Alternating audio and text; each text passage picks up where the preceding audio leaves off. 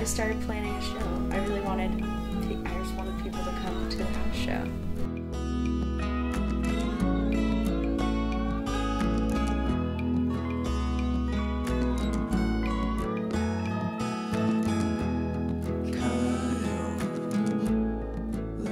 So much sweat in it is like such a thrilling part of like just being in this room with people who are experiencing the exact same like sensory experience as you. Well, not exact same sensory experience, but like they're perceiving this like weird, incredible thing that you normally never experience like at one time.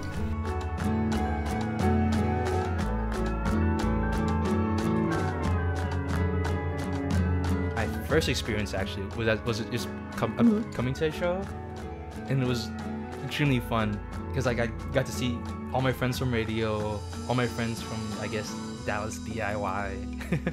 Yeah. and you can see them all in one place in such a cool environment with, with cool people doing cool Yeah. things.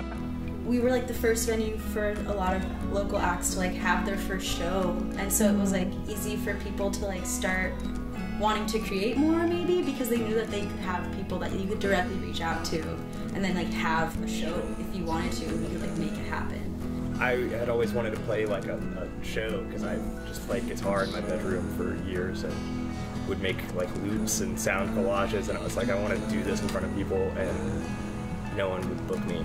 So it's like I bet I could get like 20 of our friends to come out and watch like a show.